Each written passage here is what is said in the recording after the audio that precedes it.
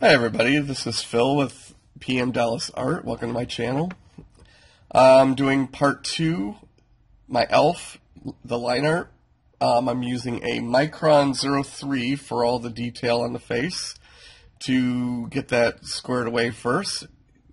I always like to make sure I get the face done, get it done perfect before I start working on the rest of the picture the fa- I find the face is the, probably the most important focal point, and anything you mess up, you might as well get it messed up in the beginning. But um, yeah, no, the um, this here I go from a 03 on the um, Micron to a Copic multiliner SP um, 05, as you can tell by the top of the pen. I really enjoy that, and I like the fact that it's refillable. So um, I'm on my second refill so far since getting the pen. But um, yes, uh, this picture uh, completed. It's it is scanned into the computer, so I will be working in the next day or so to get the um, photoshopping done. And I've got a few things I want to try out on it too. Um, new things that I've been learning and studying through um, other artists and their um, techniques. Some um, different things, and possibly even um, painting and getting the lines from black to another color, which I've never really done. But uh, interesting to see what I can do with that to maybe um, get the lines to blend in more with the uh, picture itself.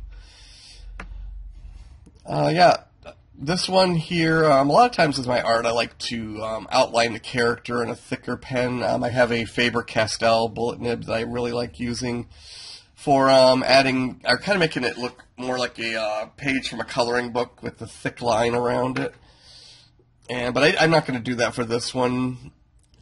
I'm just going with the um, the way you see it. It's going to be just um, soft um, lines with the 05 here. So um, let's see. Yeah, um, I think the part three. I'm shooting for Tuesday. Uh, if I get um, if I get the picture done in time, edited, um, maybe Monday. But I, I'm, I think I'm, I'm going to try to keep on the Tuesday Thursday schedule, unless um, like when I threw in the um, slideshow of my artwork so far this year. Um, I, th- I think I'm, I can definitely keep on the Tuesday Thursday schedule. So. Um, yeah, this one was actually a fun piece to do. I really enjoyed up how the hair came out. The hair came out a lot better than I thought, with it um, kind of being blown to the side. Um, yeah, the 05, the thicker marker, um, that's more for um, the details when I got a like her eyelashes. Like right now when I'm doing the eyelashes, um, I love using the uh, thicker one for all those details. Um, let's see. Yeah, I think yeah we're pretty much done with the picture. Um, I erase all my lines. Somebody asked me what I was getting rid of. They couldn't quite tell, but um, yeah, I'm getting rid of the lines on the paper. But um, yeah, so this one's done. Uh, expect part three next week.